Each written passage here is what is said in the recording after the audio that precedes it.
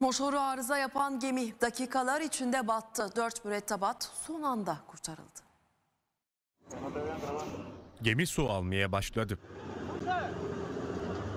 Dakikalar içinde alabora oldu. Can pazarının yaşandığı adres Şili. Motoru arıza yapan gemi akıntıya kapıldı. ¡Ah, mierda! akıntı nedeniyle yan yatan gemiye su doldu. Gemi Pasifik Okyanusu'nun soğuk sularına gömüldü. Gemideki 4 kişi son anda kurtarıldı. O anlar amatör kameralara da böyle yansıdı.